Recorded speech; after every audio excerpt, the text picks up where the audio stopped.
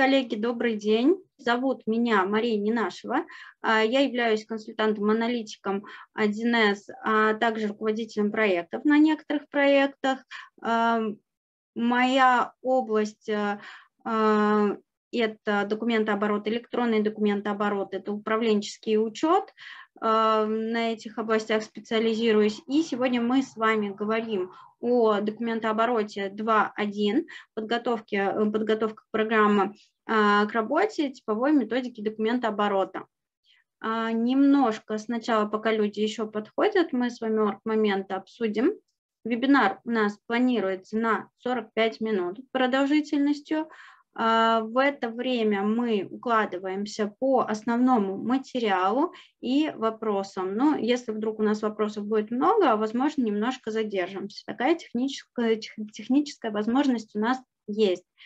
А, у нас запись ведется, то есть запись у вас будет, а, потом мы ее направим, и вы сможете пересмотреть, если вдруг кого-то отключает, что-то там куда-то нужно отойти, не переживайте, запись у вас будет в доступе.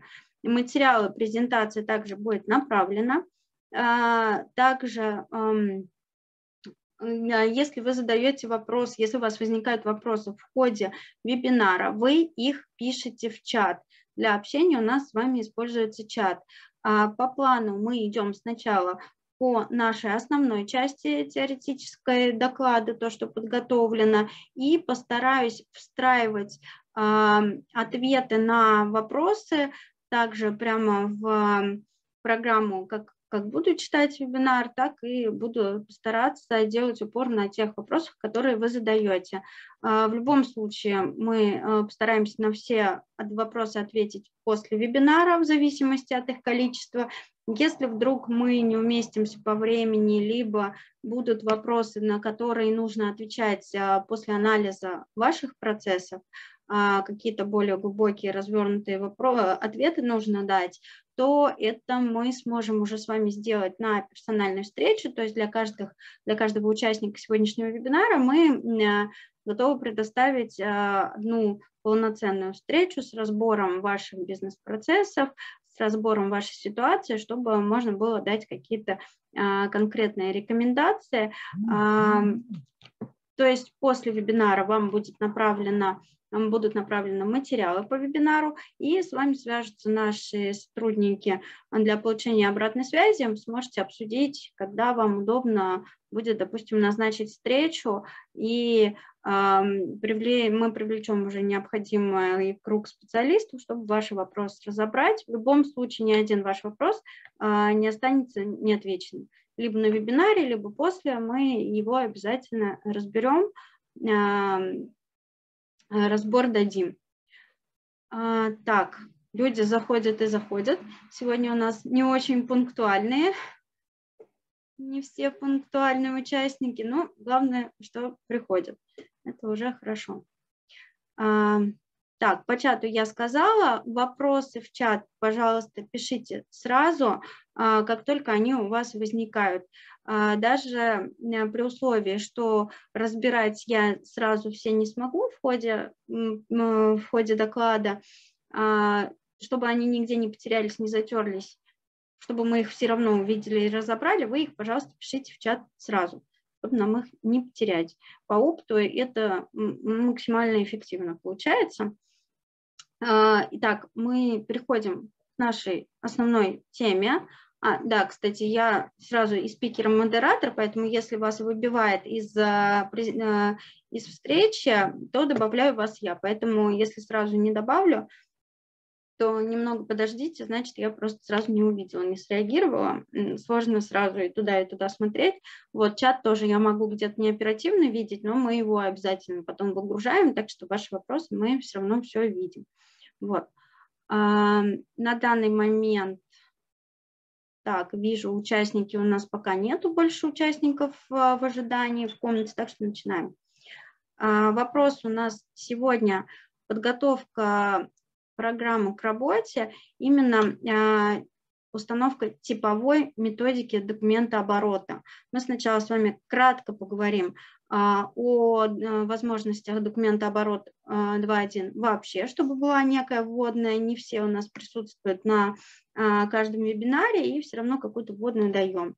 Вот. И поговорим далее уже о первоначальной настройке новой базы, что у нас из себя представляет эта процедура и какие есть варианты настройки новой базы. В частности, сегодня углубленно поговорим про установку типовой методики документа оборота.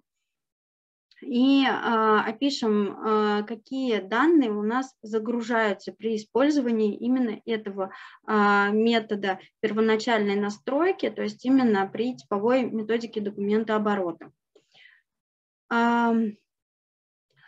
По интерфейсу и обзору общих возможностей системы мы сейчас посмотрим вживую наш документооборот. Сейчас я включу демонстрацию. Скажите, пожалуйста, а кто уже использует документооборот 2.1? Или все, кто планирует? Все-таки тема у нас такая больше для планирующих. чатик мне напишите, используем, не используем. Так, пока чат молчит, а видно меня, не видно? Ага. Используем. Ну, угу, я поняла готовимся. А, есть и те, кто использует, есть и те, кто готовится. Наверное, конечно, больше интересно будет тем, кто готовится, потому что это все-таки первоначальная настройка системы. Ну, э, возможно, что-то полезное будет и для тех, кто уже использует. А, программа документооборот 2.1 у нас используется для а, работы с документ-потоком, то есть это у нас входящие, исходящие, внутренние документы а, и соответствующие все действия с ними. То есть это а, процессы, которые у нас подразумевают работу с документами, организуют движение документов, документы-потоки, в том числе и задачи сотрудникам для проведения операций над этими документами. Сейчас мы с вами видим документооборот 2.1. Секундочку, не, не, не все поле вижу. Вот. А, мы с вами можем посмотреть информацию. Так, видео у нас прям подходит и подходит. О а, программе, то есть а, в меню Здесь справа сверху мы можем посмотреть информацию всегда о программе, какая у нас а, используется версия, какая конфигурация и а, под кем мы сейчас зашли. У нас сейчас демо-версия документа оборота, и мы а, зашли под пользователем Федоров УП, это директор. Зашли мы сюда специально, чтобы посмотреть именно рабочий стол сотрудника, в данном случае директора. То есть в документообороте это не просто первая страница, которая загружается для пользователя а, при работе системы. Для а, пользователя документооборота первая страница – это его рабочий стол, его рабочий кабинет, где он видит а, набор тех функциональностей, которые нужны ему каждый день. То есть вот каждый это а, область, задачи, почта, календарь – это отдельный виджет. Мы их можем настраивать, как нам нужно под пользователя. Мы можем, ну, допустим, если нам не интересен календарь, не интересен форум, эту функциональность мы не используем, то его можно убрать с рабочего стола, чтобы не а, засорять а, поле видимости, а оставлять самое важное. Вот. А, также функциональность документа обороте, она настраивается, то есть а, некоторые функции, ну, например, возьмем почту. Если вы не планируете использовать эту функциональность программы, то ее, в принципе, при первоначальной настройке можно отключить. И ваши сотрудники ее видеть нигде не будут, ни в меню не будут видеть, ни на рабочих столах, нигде. А, то есть тут а, при первоначальном запуске системы нужно понять, что вам нужно, с чем будут сотрудники работать, а, и вы сможете как в меню в общем, меню разделов у нас находится вот здесь, то есть вот так мы уже видим все остальные разделы. Ну, тут важно показать разницу. То есть так видит сразу свой рабочий стол сотрудник, и ему не нужно никуда в меню проваливаться, он сюда выводит самые главные функции. Если ему дальше уже нужно провалиться как-то больше, ну, шире увидеть все возможные функции, всю функциональность, он уже заходит в меню разделов и здесь видит а, остальные разделы. А, главное – это основные а, функциональности сотрудника, с которыми он работает, задачи, задачи его, задачи отдела, ну, как руководителя, задачи проектов, мои документы, то есть основные функции, с которыми работает пользователь. Работа с документами и файлами. У нас здесь документооборот 2.1, документы разделены на внутренние входящие и исходящие. А, в следующей а, версии уже по-другому идет распределение документов. Здесь вот важно учитывать эту особенность. Совместная работа – это все, что касается а, взаимодействия с другими сотрудниками. Учет рабочего времени, все, что касается отчетов, трудозатрат, отчетов подчиненных.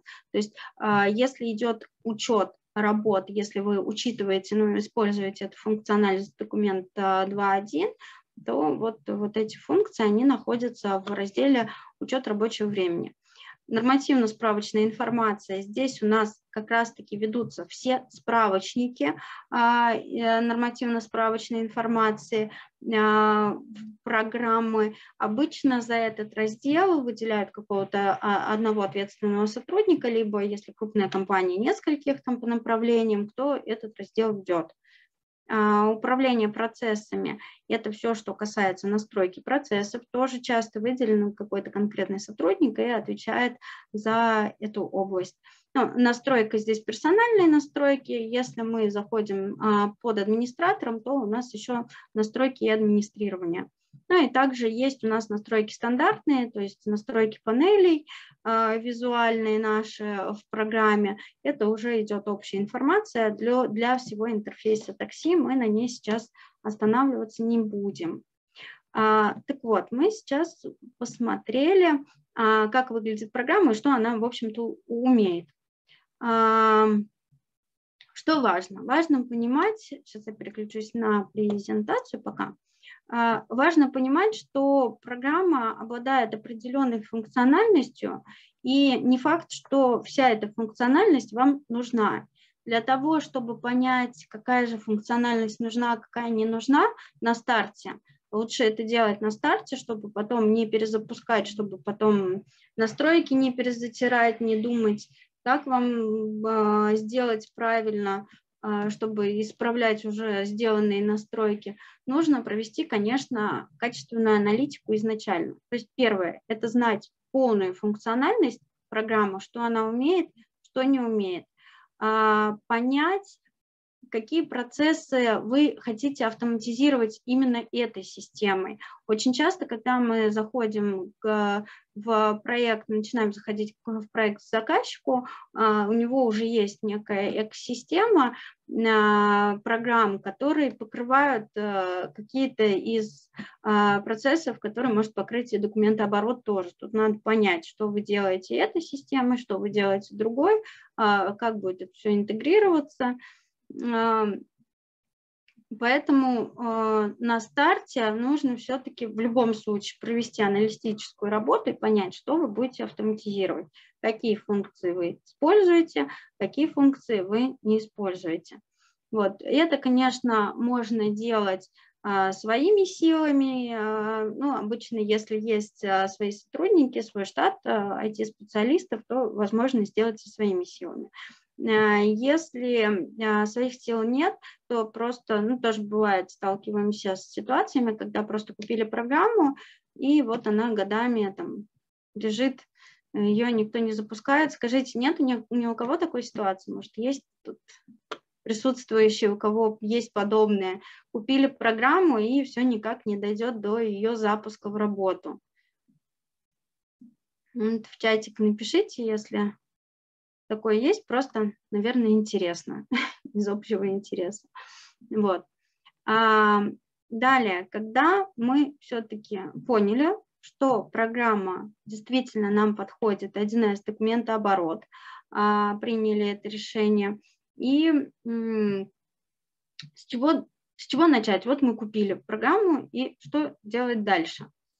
А, просто взять, открыть программу и начать в ней работать невозможно. То есть нужно сделать первоначальные настройки программы, а, настроить хотя бы технически функциональность, которая будет работать, которая включена, которая отключена, а, и необходимо наполнить первоначальными данными вашу систему. То есть это а, ну, сейчас вот мы как раз по этим всем а, данным а, пройдемся. Это шаблоны документов, виды документов, файлы, которые вы будете использовать, а, да, даже worksus структура, даже виды работ, которые, по которым вы будете вести работы, если вы их ведете. То есть без этих данных ваши пользователи просто не смогут работать.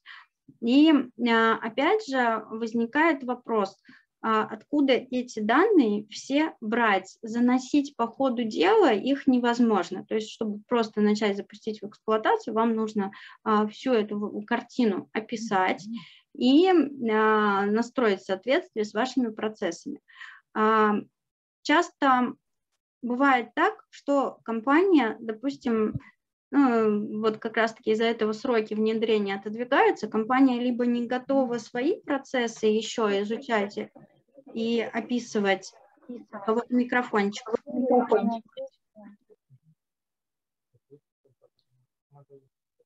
Так, вижу у кого-то микрофончик. Сейчас попробую выключить, но у меня почему-то не получается. Так, все, получилось. Странно, вроде настройка установлена. Вот.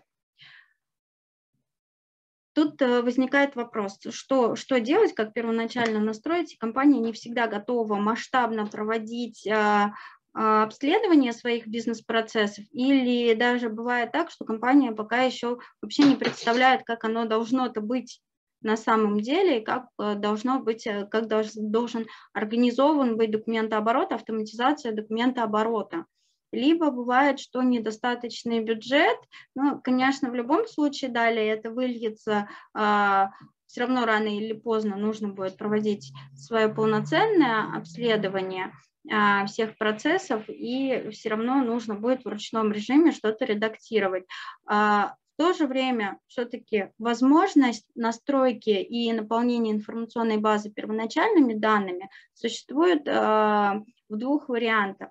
То есть можно заполнить а, вручную, то есть полностью провести полноценное обследование, понять, какие документопотоки, какие процессы, какие шаблоны документов используются. Мы проводили вот, а, об этом говорили на прошлом вебинаре а, в начале августа, как, что нужно изучить, что нужно описать, что нужно обследовать, чтобы понимать, как в ручном режиме настроить свою систему. То есть каждый пункт нужно пройтись, обследовать, описать и тогда уже настраивать.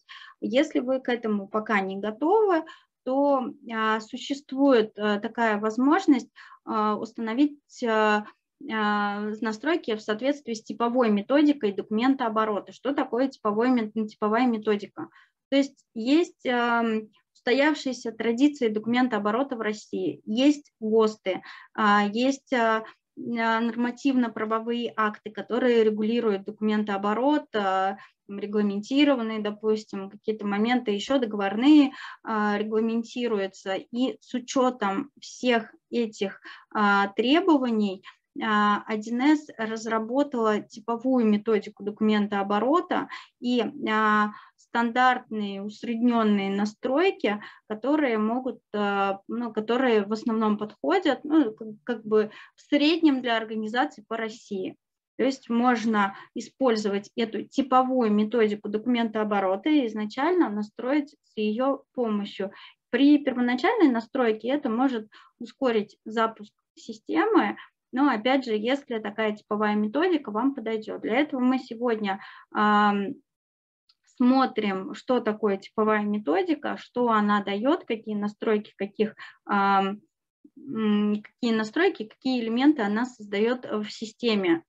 А, может ли она вам, вероятно, подойти и какие моменты нужно учесть. А, тут важно, что если у вас уже сейчас настроена система каким-то образом, там, частично настроена, то есть в ней есть какие-то документы, в ней есть установлены какие-то настройки, то при использовании типовой методики документооборота а, все эти настройки и данные, они затрутся. Поэтому нужно это учитывать, что все-таки устанавливать ее нужно на пустую базу, на новую. Немножко углубимся, что же у нас делает, делает типовая методика документа оборота, что она себе содержит.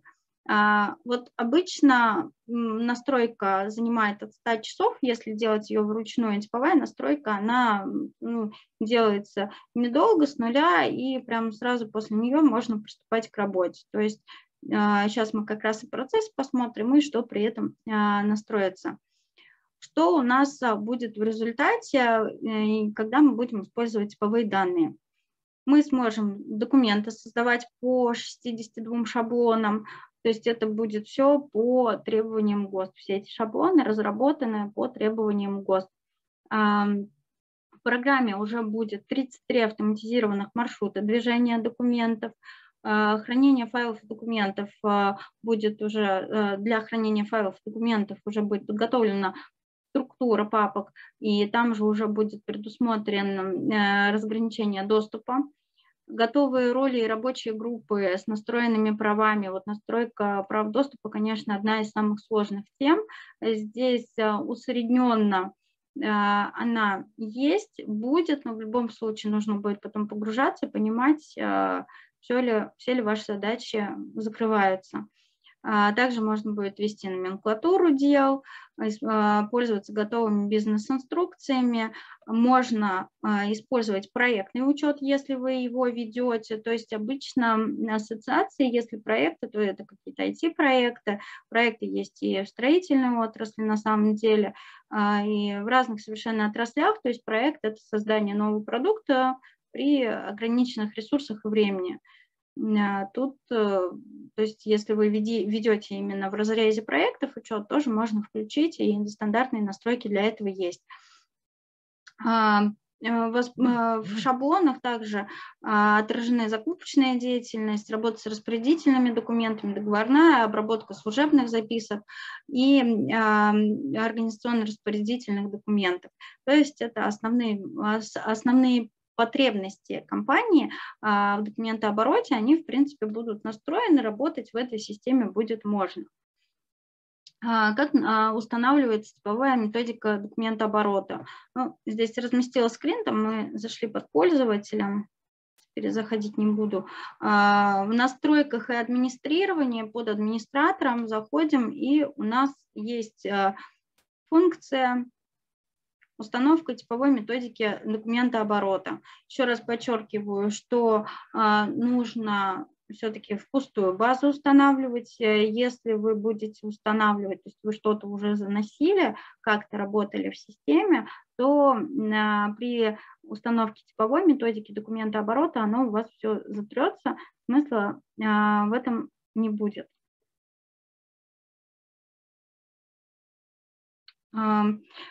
Далее, как только вы кликнете на кнопку, процесс у нас пошел, и программа в любом случае вам скажет, что будет, эм, э, что, что будет далее. То есть э, команда, э, программа вам говорит, что вам даст установка типовой методики документа оборота.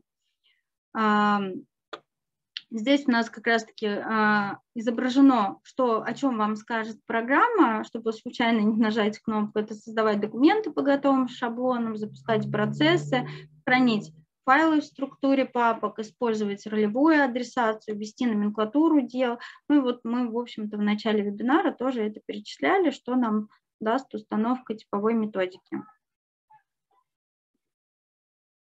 А, далее а, выйдет окно здесь вот нужно тоже принять решение, понимать, с чем вы работаете, с чем вы не работаете. Не, ну, когда э, а, устанавливаю, устанавливать типовую методику, иногда тоже складывается впечатление, что вот как мы нажимаем далее, далее, далее, идет стандартная установка, и э, не обращаем внимания на те галочки, которые нужно поставить. А, здесь важно, что каждая галочка далее потом уже отразится при работе в программе э, той или иной функциональностью, наличием или отсутствием той или иной функциональности. И э, следующим этапом, когда у вас программа спрашивает, э, укажите дополнительные, э, ну, укажите характеристики предприятия, чтобы установить дополнительные настройки, здесь необходимо подойти к этому осознанно. То есть а, если ваше предприятие состоит из а, нескольких юридических лиц, то а, вот если вы планируете вести учет по нескольким организациям, то обязательно эту галочку нужно установить. То есть у каждой организации будут свои реквизиты, номера, нумераторы. И один и тот же сотрудник сможет от нескольких юрлиц, если он на это уполномочен, подписывать документы. Вот. Если вы галочку не поставите, то, соответственно, дальше вы уже не сможете эту функциональность использовать. А, вы работаете с обращениями граждан, тут а, будет возможность именно автоматизации процессов работы с а, обращениями граждан. Если вам это нужно, обязательно нужно установить. И по работе с проектами тоже, опять же, нужно понимать, все-таки вы ведете в разрезе проектов деятельности или нет, чем бы вы ни занимались какая бы сфера деятельности ни была. А, в общем-то, этот слайд как раз-таки раскрывает все, что я на предыдущем сказала. И посмотрим, что же у нас э, будет содержать наша база, когда у нас данные загружены после завершения установки типовой методики а, документа оборота. А, программа вас обязательно уведомит, что теперь содержит ваша программа. А, у вас есть структура предприятия, рабочие группы уже созданы, должности, папки файлов, шаблоны файлов, виды работ, вопросы деятельности, нумераторы, виды, папки, шаблоны внутренних документов, ну, внутренних, входящих, исходящих документов, то есть виды шаблоны всех видов, всех документов – типы связи, номенклатуры дела ее разделы, роли исполнителей, а, все шаб... А, необходимые минимальные шаблоны процессов, виды и папки мероприятий, опять же, если вы их будете использовать, то они вам интересны будут. Папки, форумы, инструкции, графики работ. А, ну и а, далее уже программа вам говорит, что для дальнейшей настройки программы в любом случае а, ответственным сотрудникам придут задачи. То есть когда все элементы системы необходимые автоматически будут загружены в 1С документооборот, то а, все равно необходимо ответственным сотрудникам сделать а, дальнейшие действия для проверки и донастройки системы, чтобы не упустить а, ничего из вида, и ответственные сотрудники это сделали, программа формирует для них задачи. Далее мы их подробнее рассмотрим, какие задачи сформированы. То есть вот как раз-таки и будет адаптация загруженных данных под э, именно вашу организацию вручную уже. Ну, потому что автоматически предусмотреть, как нужно в каждой организации настройки сделать абсолютно точно, здесь усреднить э, практически невозможно, все равно нужно какие-то настройки делать. Поэтому э, каждый ответственный получит в списке задачи мне, либо в виджете, в окне задачи мне, а эти задачи для донастройки вы их не потеряете. А, как можно оценить, готова ли ваша система? Так, а, после того, как у нас система автоматически загрузила данные, а, наши ответственные сотрудники получили задачу, задачи для донастройки системы, и нам нужно понять, а все ли, в общем-то, готово к эксплуатации системы и как мы это будем делать, проверять нашу систему. А, необходимо, ну, здесь перечислены а, вопросы, по которым мы понимаем критерии, насколько наша система настроена. То есть а, организована ли совместная работа сотрудников с информацией, есть ли система регистрации учета входящих и исходящих внутренних документов, есть ли контроль исполнения, обеспечен поиск документов. Для хранения данных организована структура папок, а, где у нас уже настроены права доступа. А, ведется ли номенклатура дел, насколько корректно ведется. Между сотрудниками распределены зоны ответственности в, рамке, в рамках прохождения хранения документов, роли исполнителей. Есть схема движения документов и есть учет трудозатрат сотрудников. Вот, вот эти все вопросы, на них нужно получить ответы. Вот вам необходимо в этот момент понять, как вы будете это проверять. Есть э, путь такой болезненный, но эффективный, когда ваши пользователи просто начинают работать с системой и понимают, тут работает, там не работает, здесь нужно донастроить. Можно разработать кейсы и по кейсам пройтись по каждому э, вопросы по каждому моменту и а, на тестовых данных, на тестовых документах, тестовых кейсах проверить, как это отрабатывает. Это, конечно, избавит вас от а, сюрпризов потом в работе, это нужно обязательно делать. Ну, а, когда, допустим, занимаются у вас профессионалы внедрением системы, они для вас обязательно разработают тест-кейсы и предоставят уже результат проведения тестирования, что функционал действительно работает. Если вы самостоятельно внедряете систему, то рекомендуем также это сделать и пройтись по этим вопросам. А теперь пройдемся, какие же данные у нас а, загружены более подробно, какие данные у нас а, загружены по результату использования типовой методики документа оборота. У нас а, загружены данные для автоматизации следующих видов деятельности. Это закупочная договорная работа с договорами, а, обработка организационно-распределительных документов и служебных записок. А, также созданы подразделения для работы по этим направлениям. Также формы договоров, все, которые необходимы, форма заявлений, которые необходимы, у нас все загружены и настроены процессы обработки документов необходимые, все минимально необходимые у нас все загружено.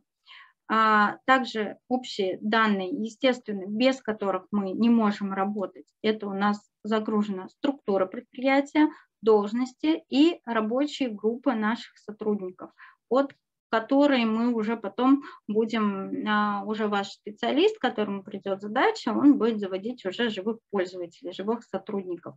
А сама структура предприятия, должности и рабочие группы, они у нас загружаются а, автоматически. Организационная структура, которая загружается автоматически. Она у нас а, стандартная и состоит из подразделений, которые, в общем-то, есть в любой организации. Вот она у нас сейчас приведена.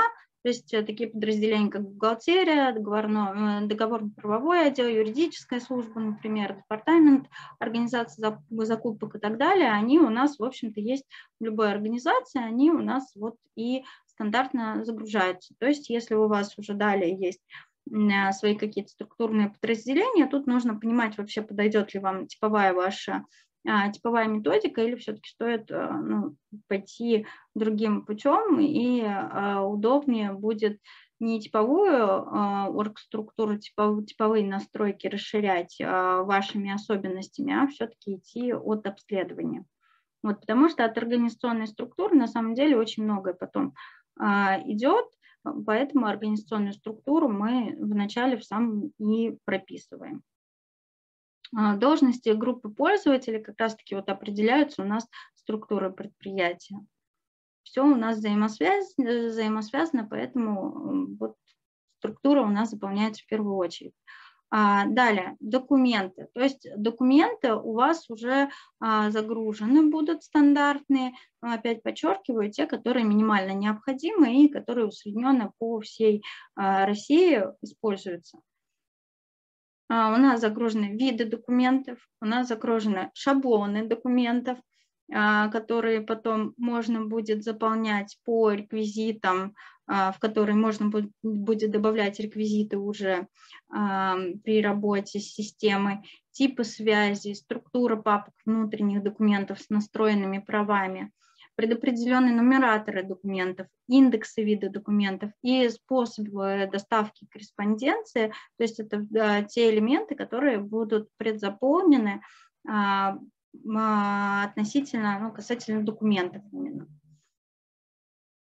А, далее, какие у нас здесь идут типовые настройки по, этим, по этим элементам. Опять же говорю, что у нас виды документов, это которые применяются всеми абсолютно предприятиями. Ну, например, вот возьмем там распоряжение директора, должностные инструкции, они у нас применяются везде и они установлены, связи между ними, сами формы документов, они установлены ГОСТами. И в соответствии с этим документы у нас и загруженные виды документов в, организ... А, в систему. То есть тут уже можно не переживать, все соответствует стандартам. Также, что касается файлов, какие файлы у нас уже загружены. А, у нас сами шаблоны файлов загружены, у нас а, правила автозаполнения шаблонов файлов, то есть какие вносимые реквизиты карточку а, документа у нас куда попадут в шаблон файла, как они заполнятся. Права доступа к шаблонам файлов, какие сотрудники а, каким шаблонам будут у нас иметь доступ. Это тоже вот у нас а, прописано. И папки файлов с настроенными правами. То есть если у вас какие-то особенности есть в организации, то тоже нужно иметь в виду, что потом это все нужно будет донастраивать, исходя из ваших особенностей. Настройки шаблонов файлов. Ну, в общем-то, я об этом сказала, что а, это усредненное по стране. И а, а, для удобного хранения массивов файлов структура папок используется как раз-таки, где именно для подразделения назначена отдельная папка. Тут идет разрез по папкам именно по подразделениям. Это тоже нужно учитывать.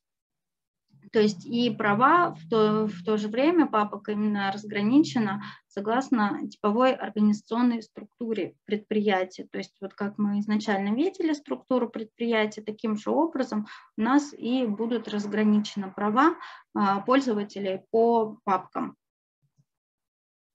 А, процессы и задачи. Что у нас а, загружено по процессам и задачам в систему? У нас загружено шаблоны комплексных процессов, которые касаются а, как раз-таки видов документов, а, которые мы загружаем. То есть у нас используются автоматически загруженные виды документов. Для их действия с ними у нас и есть шаблоны комплексных процессов. Мы же с этими документами должны производить действия. Также загружено правила автозапуска этих процессов, условия маршрутизации и роли исполнителей по этим процессам. Ну, здесь приведен вот, а, пример обработки а, распоряжения главного бухгалтера автоматически, который запускается при создании а, документа сотрудникам, у которого идет э, роль, установленная роль главный бухгалтер. А, и документы вид распоряжения. То есть это у нас уже предустановленный комплексный процесс, и идет определенный маршрут э, по этому виду документа. Это уже предустановлено по э, системе, в системе при использовании типовой методики документа оборота. Также создан типовой вид проекта и установлены рекомендованные настройки для ведения проектного учета. Виды проектов у нас находятся в нормативно-справочной информации. Вот, э, далее, если уже вы э, хотите использовать, у вас разные виды проектов есть, то вы можете дополнительно еще завести э, с особыми настройками другие виды проектов, здесь создается именно для того, чтобы вы хотя бы могли запустить эту деятельность и начать вести проектную деятельность, автоматизацию через 1С. А, что касается номенклатурный дел, в информационную базу у нас загружена сама номенклатура дел и э, дела, тома по номенклатуре дел. Опять же, у нас структурно, структурно предлагается что основа, э, основа у нас подразделения, то есть структура организации. Основа – это наименование подразделений. Насколько это удобно, нужно оценить. Вообще чаще всего так оно используется в организациях, более удобно. Вопросы деятельности. Что у нас касается вопросов деятельности? Каждый вид документа у нас который мы вот э, выше о котором говорили, то есть виды документа у нас созданы тоже, и каждый вид документа у нас привязан к определенному виду деятельности предприятия. И в процессе работы предприятия вопрос деятельности позволяют получить а, отчеты с а, количественными данными, то есть какие документы у нас а, по какому виду деятельности. Далее, что касается учета, учета времени, если вы а, работаете с а, учетом времени а, в системе, принимаете такое решение, то здесь автоматически будут загружены виды работ, графики работ, рабочий календарь. То есть эти все настройки типовые, то есть э, перечень работ будет а, предложен типовой, тот, который ну, требуется обычно для учета рабочего времени минимально. А график работы, он уже идет с учетом а, производственного календаря, который у вас установлен по умолчанию в документооборот 8. Э, по мероприятиям, что у нас загружено? У нас а, загружены виды мероприятия и папки мероприятия. Это общие мероприятия а, по структуре организации. Ой, так, ушли. Вот. А, так, по форуму. А, для форума, ну, форум не всегда, конечно, используется в пользователями документооборот. Ну, в общем-то, тоже такая функциональность полезная, и она автоматически тоже настраивается. Здесь а, созданы типовые разделы новостей, общекорпоративных обсуждений, предметных разговоров, правила ведения на форуме э, и полезные советы тоже они сразу предустановлены. То есть можно брать и начинать пользоваться этой функциональностью. Все настройки для этого у нас есть. А, также для удобства работы пользователей для настроены уведомления. А, они сразу будут работать в системе по окончании настройки, и а, пользователь будет получать уведомления при выполнении моей задачи, контроль просроченных задач, это ежедневно идет уведомление, а, назначение ответственным за документ, новая запись календаря, окончание срока действия документов, остановка и прерывание процессов, если отменяется выполнение задачи, перенаправление задачи, поступает новая задача, а, то есть весь ряд, а, тут весь перечислять не буду, целый ряд важных уведомлений, которые позволяют сотруднику работать эффективно, он идет, пред, ну, настраивается уже с помощью типовой методики и позволяет уже к этому вопросу не возвращаться. Сотрудник получает необходимые уведомления оперативно. А, посмотреть а, настройки уведомлений мы можем вот в настройках уведомлений по умолчанию, и здесь мы видим, каким образом у нас а, идет уведомление. То есть идет по почте, идет окном уведомления. Здесь мы вот можем эту информацию посмотреть и понимать, куда будет приходить информация нашему сотруднику, в какое окно, какой канал связи. А, также будут э, готовы инструкции для сотрудников, которые привязаны к каждому объекту, которые уже загружены типовой методикой а, документооборота. А, при этом, если уже используются инструкции, которые загружены вот типовой методикой, то не следует уже э, загружать типовые инструкции из комплекта поставки, потому что они могут помешать друг другу, и э, какие-то данные могут потеряться. Вот так а, делать не рекомендуется. А, также загружаются у нас а, необходимые для использования электронного документа оборота проекта локальных нормативных актов а, по организации электронного документа оборота. У нас электронным документооборотом пользуются уже все организации, а, поэтому здесь необходимый пункт, который не стоит пропускать, Здесь у нас рекомендованные к использованию проекта внутренних нормативных актов, которые уже устанавливают именно а, нормативные нормативы правового поля для использования документа оборота.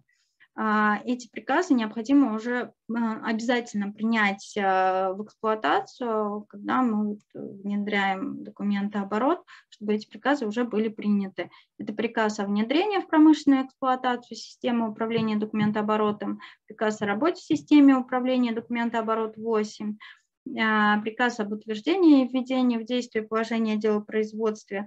Это очень важный момент, о котором не всегда помнят, его пропускать нельзя, и система об этом при установке типовой методики документооборота система об этом а, напоминает, не дает пропустить нам этот пункт. А, далее, когда наши данные уже загружены в систему, а, когда у нас установлены технические настройки, о которых мы уже сказали. А, в самом начале я говорила, что после настройки автоматической система направит задачи ответственным сотрудникам, которые должны будут ручками а, сделать какие-то действия, до настроить систему, и об этих действиях мы сейчас как раз-таки поговорим.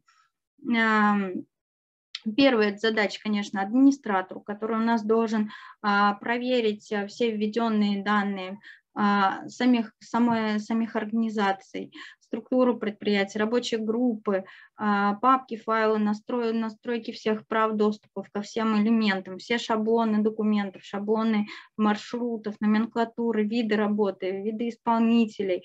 То есть все, что заполнено а, ну, здесь вот полный а, перечень а, приведен, что ему нужно проверить, и нужно также будет, важный момент, это зарегистрировать пользователей в системе, это у нас задача именно администратору. Задача ответственному за НСИ приходит ознакомиться с документом, как работать с методическими материалами, и необходимо проверить, а, справочники, проверить виды документов, а, графики работ и проверить виды мероприятий. И а, дальше уже у нас приходят задачи самому делопроизводителю. Это запустить процесс подготовки документации об использовании программы документооборот и запустить процесс подготовки самого приказа об утверждении введении в действие положения о делопроизводстве. Вот. А, сами задачи, они приходят, как мы говорили уже, в раздел «Задачи мне», также на виджете на рабочем столе, на стартовом. А, мы, ну, сотрудник видит задачи, которые ему приходят, а, и должен ее выполнить. Таким образом, система ведет всех, э, ведет ответственных сотрудников к тому, чтобы все-таки система была итогово донастроена. А, и еще раз хотела бы вот э, сделать упор на том, что когда вы выбираете, каким образом, каким путем вам идти. Вот сейчас мы на данном вебинаре рассмотрели типовую методику документа оборота. А, до этого мы рассматривали ручную настройку. Типовая методика, она, конечно, дает нам готовое решение. То есть мы а, запускаем, программа все сама настраивает, делает это в соответствии с законодательством, со всеми а, документами, со всеми стандартными. При этом она не учитывает особенности, специфику нашего предприятия, специфику наших процессов. Но она страхует нас от того, чтобы мы чего-то не забыли, то есть все необходимые этапы мы все-таки проходим. А если вы принимаете решение все-таки вручную настраивать систему, то вы должны осознанно к этому подходить и а, готовиться к большому этапу обследования и настройки ваших процессов, вашей системы. Вот. А, так, по времени мы сегодня с вами даже немножко перелимитили. А, наши сотрудники вас будут прозванивать. Если какие-то вопросы у вас остались, будем рады на них ответить. Еще раз говорю, что у каждого есть а, возможность, у каждого участника вебинара есть возможность а, провести встречу, встретиться с нами отдельно, конкретно по вопросу, по кейсу, и мы уже ответим на ваши вопросы. Про эту возможность помните. Ну и сегодня я с вами прощаюсь. Спасибо. Хорошего дня вам. До свидания.